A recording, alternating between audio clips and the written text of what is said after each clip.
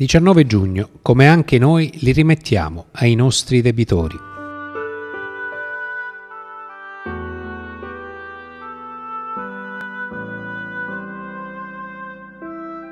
La legge del perdono che Dio ha scritto per l'uomo merita di essere da noi seriamente considerata. Dio non conosce altra legge se non questa. Anche l'uomo non deve conoscere altra legge del perdono se non l'unica, la sola che il Signore gli ha dettato.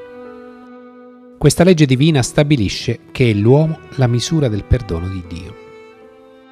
Dio perdona quanto l'uomo perdona i suoi fratelli, come l'uomo perdona i suoi simili. Altra verità vuole che il perdono dato agli uomini debba precedere quello del Signore. Si perdona ai fratelli, si va dal Signore per chiedere perdono. Se noi siamo generosi, pietosi, misericordiosi, magnanimi, ricchi di bontà e di accondiscendenza, anche il Signore sarà con noi ricco di ogni bontà, misericordia, pietà. Tutto ci cancella, anche i peccati più ostinati e forti. Se invece noi non siamo né pietosi né misericordiosi, il Signore prenderà questa nostra misura e con essa misurerà a noi il perdono, ci elargirà la sua misericordia, ci attesterà la sua pietà. Questa legge vale non solo per il perdono, ma per la misericordia in generale più noi siamo misericordiosi con i fratelli e più il Signore lo sarà con noi. Meno noi siamo pietosi e compassionevoli e meno lo sarà il Signore con noi. Siamo noi la misura dell'amore di Dio verso di noi. Questa misura è giusto che noi la facciamo sempre a nostro favore. Oggi purtroppo manca nei cuori questa legge. È come se fosse stata dimenticata, è come se la mente mai l'avesse conosciuta, mai avesse sentito parlare di essa stiamo tutti costruendo un cristianesimo strano, senza alcuna regola evangelica. Ci stiamo trasformando tutti in figli di Lamech, colui che è stato l'inventore della vendetta d'oltranza. Nella nostra civiltà non solo governa la vendetta, quanto anche la faida. Si vuole la distruzione non solo dell'altro, ma di quanti gli sono familiari. Neanche si ha considerazione della giovane età. Ciò che conta è la vendetta ogni altra cosa svanisce. Tutto sparisce dinanzi alla nostra sete di vendetta e di giustizia. Pregando, non sprecate parole come i pagani. Essi credono di venire ascoltati a forza di parole. Non siate dunque come loro, perché il Padre vostro sa di quali cose avete bisogno prima ancora che gliele chiediate. Voi dunque pregate così.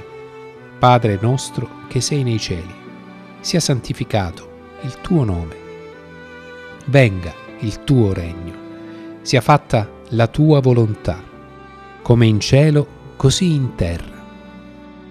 Dacci oggi il nostro pane quotidiano e rimetti a noi i nostri debiti, come anche noi li rimettiamo ai nostri debitori, e non abbandonarci alla tentazione, ma liberaci dal male. Se voi infatti perdonerete agli altri le loro colpe, il Padre vostro che è nei cieli perdonerà anche a voi. Ma se voi non perdonerete agli altri, neppure il Padre vostro perdonerà le vostre colpe. Matteo 6, 7, 15. È il perdono che attesta la verità del cristiano. Un cristiano che non perdona rivela la sua distanza infinita da Cristo Gesù. Lui non perdonò il peccato fatto su altri, perdonò il peccato fatto su di lui, che è il figlio di Dio, l'unigenito del Padre, lo stesso creatore della creatura che lo ha crocifisso. Non perdonò dopo il terzo giorno, quando risorto apparve ai suoi discepoli. Perdonò mentre era appeso alla croce, quando la sua carne era trafitta e il fortissimo dolore ne penetrava l'anima. Noi non riusciamo a perdonare neanche dopo anni e anni e sempre conserviamo nel cuore ogni torto subito. Il perdono è necessario per poter accedere alla preghiera chi è nemico degli uomini è anche nemico di Dio, perché è nemico di Cristo Gesù. Chi considera suo nemico un uomo, necessariamente considererà nemico Gesù Signore. Se si è nemici di Cristo, si è nemici del cielo tutto. Da nemici del cielo non ci si può presentare al trono di Dio per essere esauditi. Si prega un amico, non un nemico. Ci si fa prima amici di Cristo, facendoci amici dei fratelli. Divenuti amici di Cristo, si diviene amici anche del Padre. Ci si può accostare al suo trono per chiedergli ogni grazia, ogni benedizione, ogni buon regalo necessario per la nostra vita e per quella dei nostri fratelli. Il perdono è la prima regola liturgica da osservare.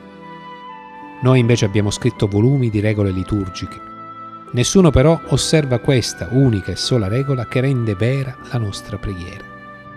Vergine Maria, Madre della Redenzione, angeli santi, fateci ricchi di perdono, sempre.